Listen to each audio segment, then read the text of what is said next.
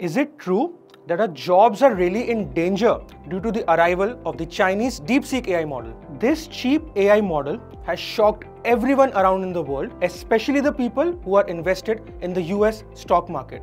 With the arrival of a new competitor for ChatGPT and the Nvidia shares taking a toll, everybody seems to be claiming that this just might be the end of software engineers. Is it true though?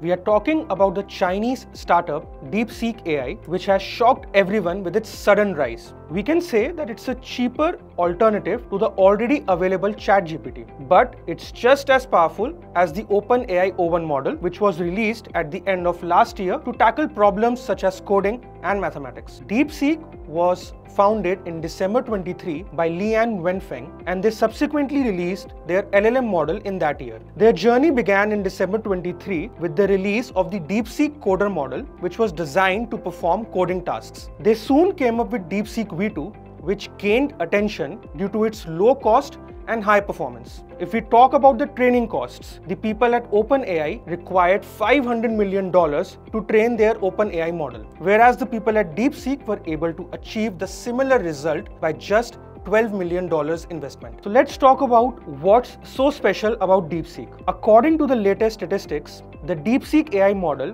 outperforms ChatGPT in two important aspects, coding and mathematics thereby making it the premier choice for the coding community. Additionally, DeepSeek boasts affordability. You have to only pay 97% of the costs you used to pay to ChatGPT for API configurations. Also, the DeepSeek R1 model being a reasoning model usually gives you responses very similar to how an actual human being reasons. Is DeepSeek really worth it?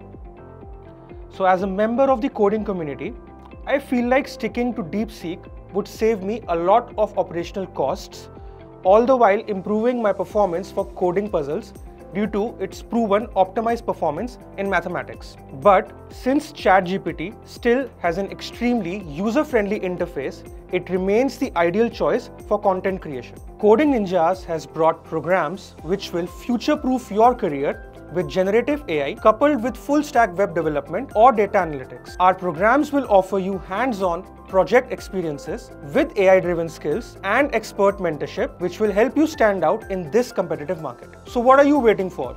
Go and register for the Coding Ninjas free webinar. So, now let's talk about the impact DeepSeek has had in the open tech world.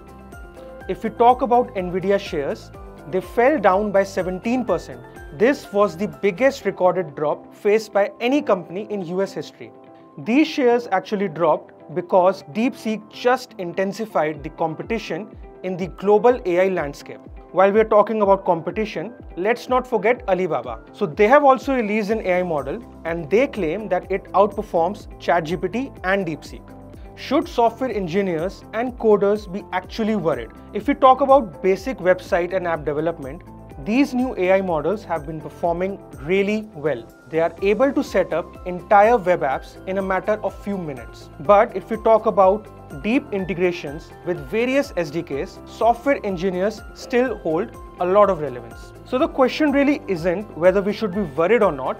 The question is how can we stay current with these new AI driven tools. Unless and until we stay current, we can never outperform the competition that is around us. If you found this video helpful, don't forget to like, share and subscribe to our channel for much more valuable content. So stay updated and stay ahead with Coding Ninjas.